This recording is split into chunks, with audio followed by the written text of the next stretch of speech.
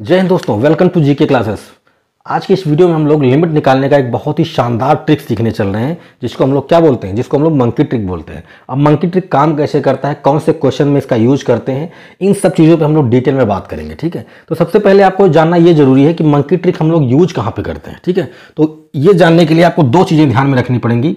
अगर आपको ये दो चीज़ें ध्यान में हैं तो आप वहाँ पर बिना कुछ सोचे बिंदास मंकी ट्रिक का इस्तेमाल कर सकते हैं, ठीक है? पहली चीज़ क्या है? भाई, पहला कंडीशन ये है कि अगर लिमिट हो यक्स टेंस टू कुछ भी, है ना? Zero infinite one two three कुछ भी हो। अगर यहाँ पर वेरिएबल है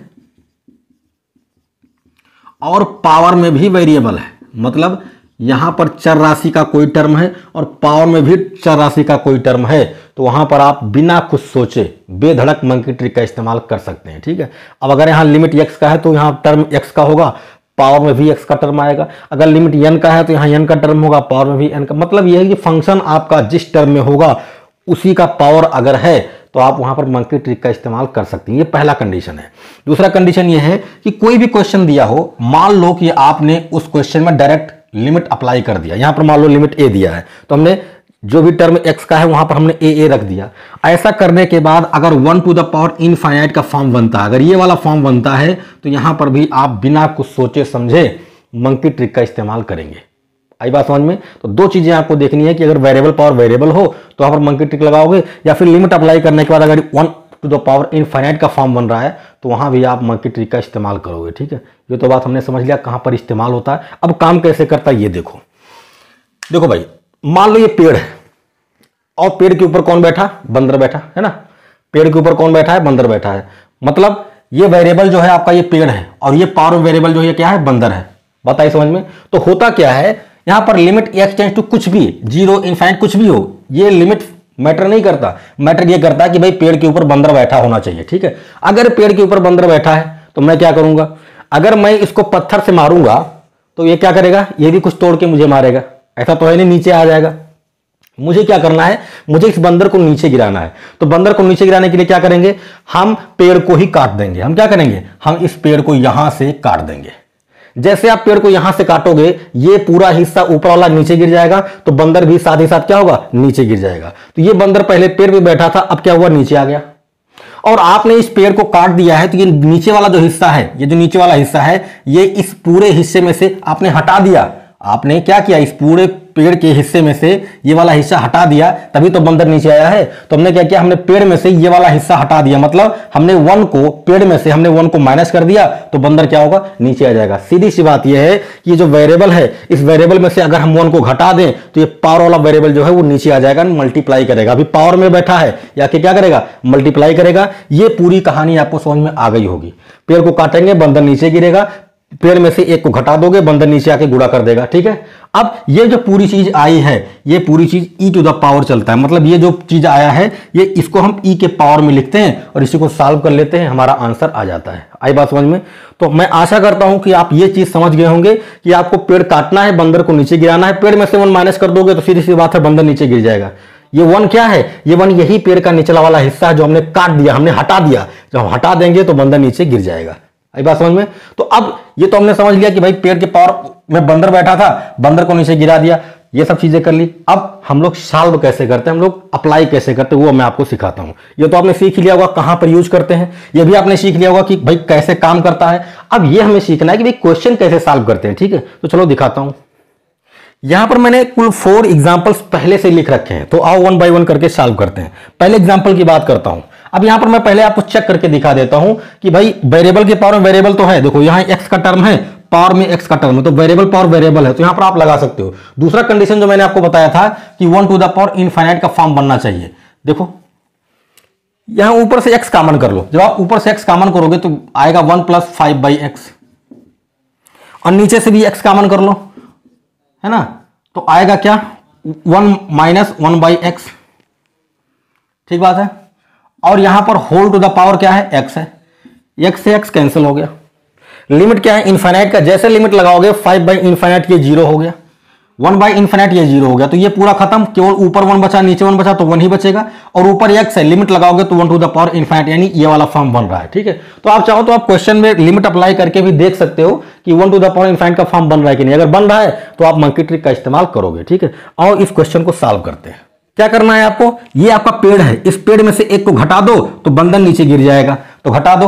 X plus five divided by x minus one minus one ये जो बंदर बैठा था, ऊपर ये नीचे आ गया है। लिमिट आपका तो लगेगा ही।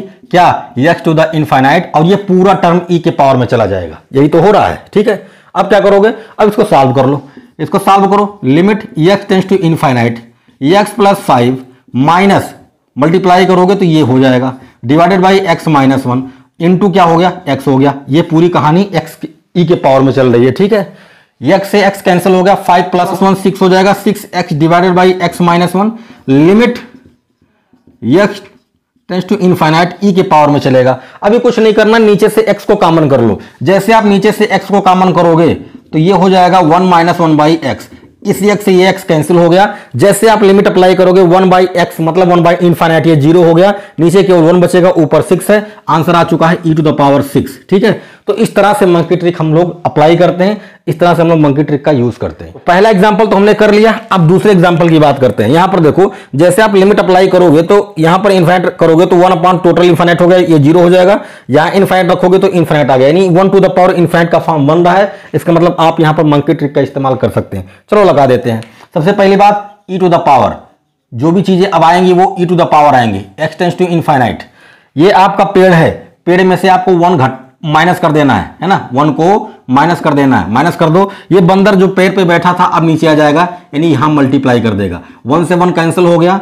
E to the power limit x tends to infinite c plus d x divided by a plus b x अच्छा ऐसे क्वेश्चन में जब दोनों का पावर ऊपर और नीचे, दोनों का पावर एक जैसा है मतलब ऊपर एक्स का पावर वन है, नीचे भी एक्स का पावर वन है तो हाईएस्ट पावर का जो कोफिशियंट होता है वही आपका रिज़ल्ट होता है। तो इसको आप चाहो तो एक्स कॉमन करके सॉल्व कर सकते हो। अदरवाइज़ आप डायरेक्ट बोलोगे कि ऊपर हो जाएगा डी नीचे हो जाएगा बी ये आपका आ गया आंसर आई बात समझ में? आप चाहो तो यहाँ से एक्स ऊपर से कॉमन कर लो। जब ऊपर से एक्स कॉमन करोगे तो ये हो जाएगा सी बाई एक्स प्लस में डी नीचे से एक्स कॉमन करोगे तो a plus a by x plus b है ना?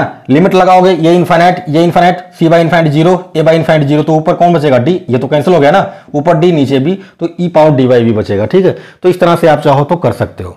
आई बात समझ में? चलो, तीसरे एग्ज़ाम्पल की बात करते हैं। यहाँ पर आप देख सकते हो एक्स टेन टू ज़ीरो है। जैसे लिमिट अप्लाई करोगे, ये ज़ीरो ये ज़ीरो केवल वन बचेगा, और ऊपर वन बाई ज़ीरो इन्फाइनाइट हो गया। यानी यहाँ भी one to the power infinite का फॉर्म बन रहा है। मतलब हम लोग मंकी ट्रिक का इस्तेमाल कर सकते हैं। चलो, कर देते हैं। जैसे आप करोगे टोटल बातें जो होंगी वो ई e के पावर में होंगी। है ना? इसमें से वन को माइनस करना है। तो आपने x square plus two x plus one में से वन माइनस कर दिया। और ये जो बंदर पावर में बैठा था, पेड़ पे जो बंदर बैठा था, ये क्या करेगा? ये अब नीचे आ जाएगा, यानी पावर में था गुणा करेगा। ठीक है? इस वन से ये वन कैंसिल हो गया। ऊपर देखो एक्स कॉमन है। तो एक्स को कॉमन करोगे एक्स प्लस टू होगा। डिवाइडेड बाई नीचे एक्स है। एक्स से एक्स कैंसिल हो गया। ये पूरी बात ई e के पावर में चल रही है। ध्यान रखना इस बात का। ऊपर एक्स प्लस टू बचा है केवल। जैसे लिमिट अप्लाई करोगे, ये ज़ीरो हो गया, केवल टू बचेगा आंसर आ गया e to the power two है ना? तो इस तरह से हम लोग मंकी ट्रिक का इस्तेमाल करते हैं। और चौथे एग्ज़ाम्पल को भी देख लेते हैं। चौथे एग्ज़ाम्पल में देखो, अब आप चाहो तो लिमिट अप्लाई करके देख सकते हो। जैसे आप एक्स की जगह पर ए रखोगे ए माइनस ए ज़ीरो हो गया, केवल वन बचेगा। और यहाँ पर ए रखोगे a minus a zero one upon zero मतलब इन्फाइनाइट यहाँ भी one to the power infinite का फॉर्म बन रहा है, ठीक है? तो लगा दो भैया मंकी ट्रिक लगा दो। Limit x tends to a ठीक है ना? क्या करेंगे? ये पेड़ है, पेड़ में से एक को माइनस कर देना है माइनस कर दो। और ये बंदर बैठा था, ये ऊपर बैठा था, अब गुना करेगा आके, ठीक है? नीचे गिर पड़ा, हो गया? वन से वन कैंसिल हो गया। और कमाल हो गया एक्स माइनस ए यहाँ भी एक्स माइनस ए भी कट गया। पूरी कहानी खत्म। ई के पावर कौन आएगा? वन आएगा मतलब आपका आंसर ई आ चुका है, ठीक है? तो इस तरह से हम लोग मंकी ट्रिक का इस्तेमाल करते हैं। आई होप आपको मज़ा आया होगा ये ट्रिक सीख कर, ये ट्रिक देखकर जहाँ भी वेरिएबल पावर वेरिएबल हो या लिमिट लगाने के बाद वन की पावर में इनफाइनाइट का फॉर्म बन रहा हो, वहाँ आप बेधड़क मंकी ट्रिक का इस्तेमाल कर सकते हैं, ठीक है? ये वीडियो कैसा लगा? कमेंट करके ज़रूर बताएँ। वीडियो को लाइक कीजिए, अपने दोस्तों में शेयर कीजिए और ऐसे ही शानदार, जानदार, ज़बरदस्त ट्रिक सीखने के लिए चैनल को सब्सक्राइब कीजिए वेलाइकन को प्रेस कीजिए आल पर क्लिक कीजिए। रोज नई नई वीडियो आपको मिलती रहेंगी। मिलते हैं नेक्स्ट वीडियो में किसी और शानदार ट्रिक के साथ। तब तक अपना ख्याल रखें। जय हिंद।